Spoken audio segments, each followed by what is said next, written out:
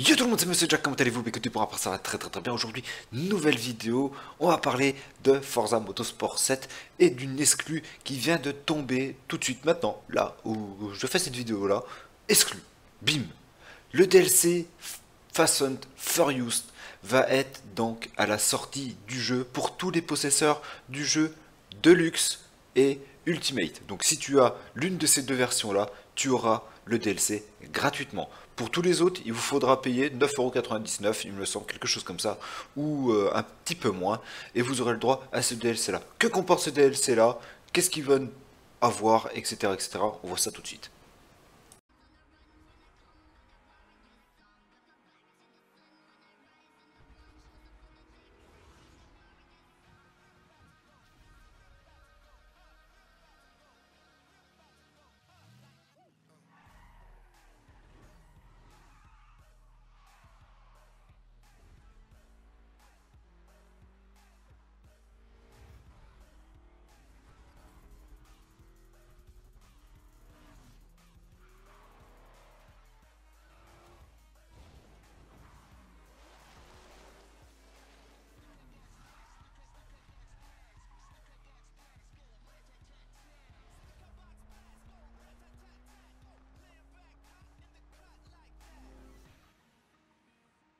Donc, je vous ai mis le petit thriller, j'espère qu'il vous aura plu personnellement.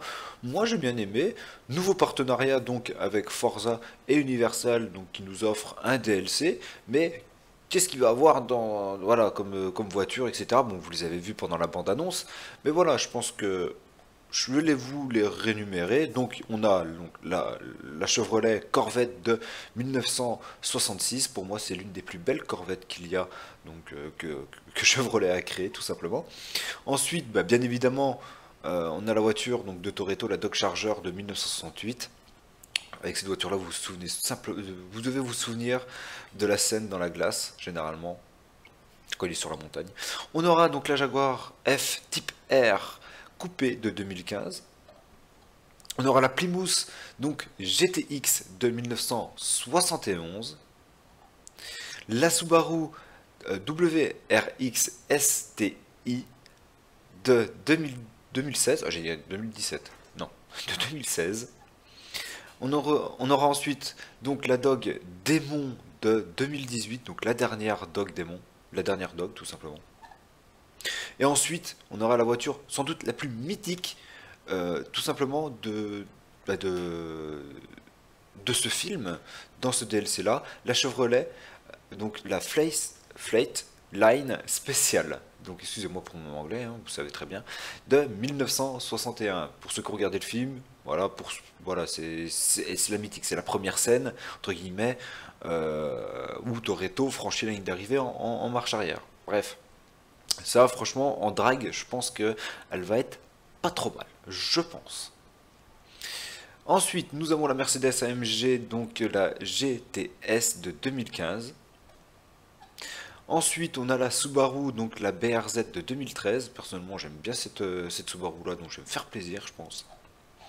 Et à la fin, donc la dernière voiture, on aura le Local Motors Rally Fighter de 2014 qu'on a, euh, qu'on avait tout simplement aussi sur Forza Motorsport, euh, Forza Horizon 3, excusez-moi. Bref, voilà, donc j'espère franchement que cette petite annonce vous fera plaisir. Ça ajoute du contenu pour les personnes qui ont précommandé le jeu.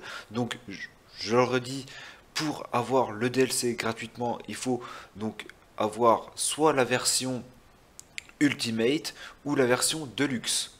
Tout simplement. Si vous avez une de ces deux versions-là, bah, vous avez le droit au DLC gratuitement. Pour les autres, il faudra vous l'acheter pour 9,99 dollars, donc 9 euros. Ça doit faire à peu près 6 euh, euros ou 8 euros, je ne sais pas vraiment la conversion.